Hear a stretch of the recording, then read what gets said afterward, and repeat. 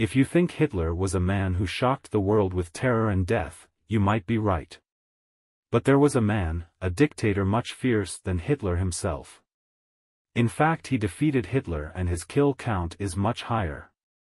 Who is he? Let's find out.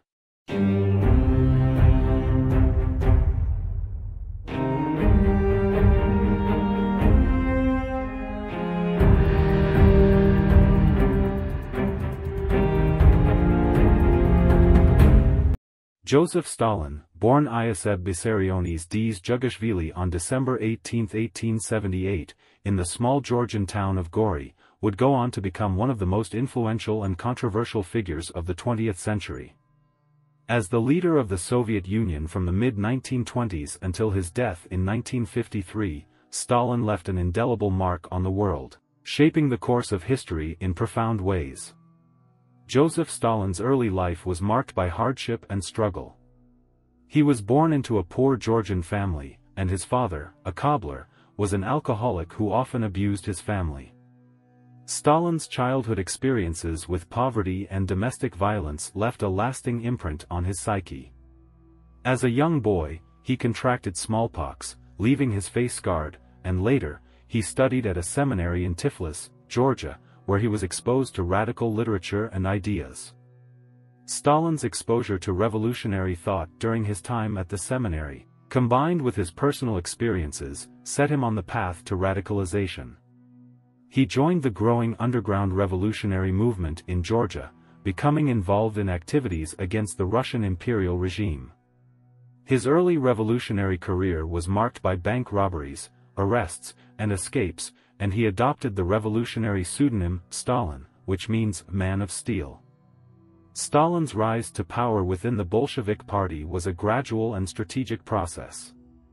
His role in the October Revolution of 1917, which led to the Bolshevik seizure of power, was pivotal. He initially held minor positions within the party but gradually worked his way up through a combination of political maneuvering, loyalty to Vladimir Lenin, and ruthless tactics.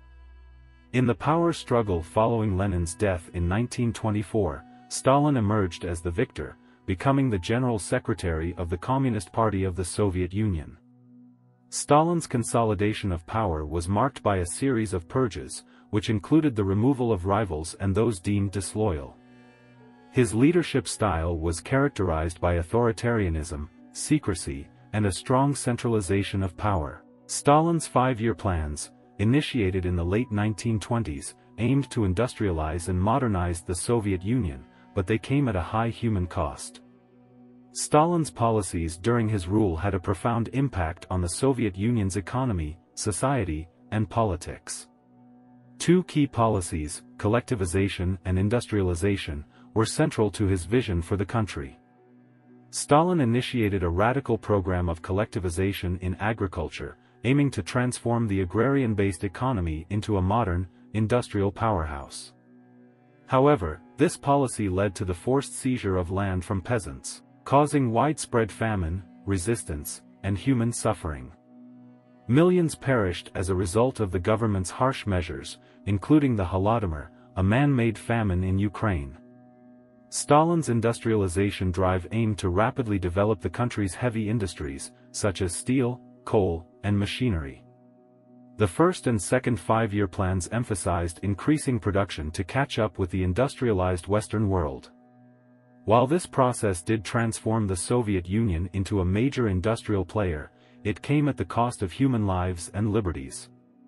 Labor was often forced, and working conditions were harsh.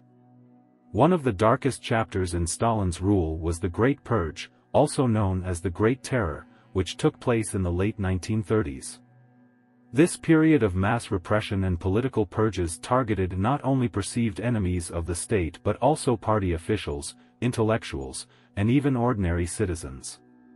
The reasons for arrest and execution were often arbitrary, with accusations of espionage, sabotage, or counter-revolutionary activities leading to severe consequences. The Great Purge was orchestrated through show trials where individuals were coerced into confessing to crimes they had not committed. The most prominent of these trials was the Moscow trials, where high-ranking Bolsheviks like Leon Trotsky and Grigory Zinoviev were accused, convicted, and executed. The purges led to the imprisonment, torture, or execution of an estimated 700,000 to 1.5 million people, decimating the ranks of the Communist Party and instilling fear throughout the nation.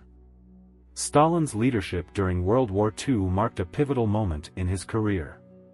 Prior to the outbreak of World War II, in August 1939, Stalin's Soviet Union signed a non-aggression pact with Nazi Germany, known as the Molotov-Ribbentrop Pact. This pact included a secret protocol that effectively divided Eastern Europe into spheres of influence, with the Soviets gaining control over the Baltic states, parts of Poland, and Finland. This agreement bought the Soviet Union some time and allowed Stalin to prepare for a potential conflict with Germany. Despite the non-aggression pact, Adolf Hitler broke the agreement in June 1941 and launched Operation Barbarossa, a massive invasion of the Soviet Union. The initial German advance was swift and led to significant territorial losses for the Soviets. Stalin, however, managed to maintain the morale of his people, and the Soviet leadership initiated a scorched earth policy, destroying infrastructure and resources to slow down the German advance. One of the most critical turning points in World War II was the Battle of Stalingrad, which took place from August 1942 to February 1943. Stalin's leadership and the determination of the Soviet people played a pivotal role in successfully defending the city against the German onslaught. The German Sixth Army, under the command of Field Marshal Friedrich Paulus, launched a massive offensive to capture Stalingrad in August 1942. The city was subjected to heavy bombing and artillery shelling. However, the Soviet forces, led by General Vasily Chuikov, put up fierce resistance. They used a strategy of urban warfare, employing snipers, tunnels, and a network of defenses in the city's ruined buildings. Stalingrad streets and buildings became battlegrounds, leading to the close-quarters combat, where soldiers from both sides fought room by room, street by street. The combat was intense and brutal. Conditions in the city were horrendous. Soldiers faced extreme cold, lack of supplies, and a constant threat of death, both sides suffered heavy casualties. In November 1942, as the Germans pushed deeper into the city, the Soviet Red Army launched Operation Uranus, a massive counteroffensive on the flanks of the German forces surrounding Stalingrad. After a huge loss of life, the Soviets succeeded in encircling the German forces, cutting them off from resupply and reinforcement. The German Sixth Army, now surrounded and cut off, found itself in dire straits. It was encircled and besieged by the Soviet forces. German supplies were limited, and the soldiers endured harsh winter conditions. Further, Hitler's refusal to allow the trapped army to break out or attempt a retreat worsened the situation for the Germans. On February 2, 1943, Field Marshal Paulus, realizing the hopelessness of the situation, surrendered the German Sixth Army. This event marked a significant turning point in the war, as it was the first major defeat for the German army on the Eastern Front. The battle resulted in immense casualties on both sides, with estimates of over 2 million soldiers and civilians killed, wounded, or captured. The Soviet victory at Stalingrad significantly boosted the morale of the Red Army and marked the beginning of the Soviet Union's offensive on the Eastern Front, which eventually led to the recapture of much of the territory lost to the Germans. The final years of Joseph Stalin's life were characterized by continued authoritarianism, health issues, and the consolidation of the Soviet Union's power in Eastern Europe. In his later years, Stalin's health began to deteriorate. He had various health problems, including high blood pressure, heart disease, and vascular issues. His health issues were exacerbated by his personal habits, including heavy drinking and smoking. Joseph Stalin died on March 5, 1953, at the age of 74. His death was officially attributed to a stroke, but there have been theories and allegations suggesting foul play or medical malpractice. Joseph Stalin's life and rule represent a complex and multifaceted chapter in world history. His journey from a poverty-stricken Georgian youth to the leader of the Soviet Union is a testament to his political acumen and persistence.